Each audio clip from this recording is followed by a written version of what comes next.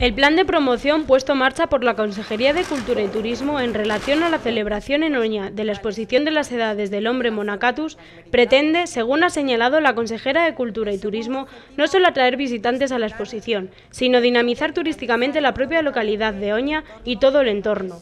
Que la nueva edición de las Edades del Hombre se convierta no solo en un atractivo para esta localidad, sino en una experiencia de turismo vivencial con potencial dinamizador para todo el entorno en el que se desarrolla. Una experiencia de turismo en la que se combine cultura, patrimonio, naturaleza o gastronomía.